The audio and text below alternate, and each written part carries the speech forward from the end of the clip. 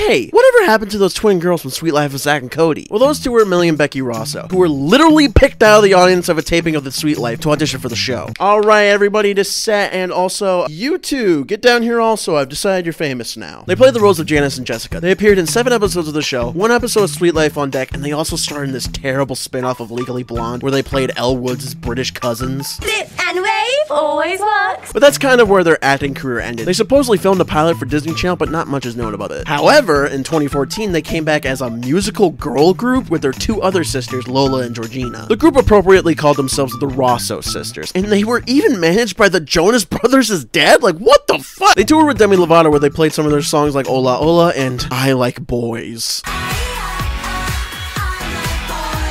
It's so good. The four sisters decided to stop performing in 2015 after their mother sadly passed away from cancer, Milly and Becky soon decided to leave the industry not long after. So that's what happened if you ever wondered,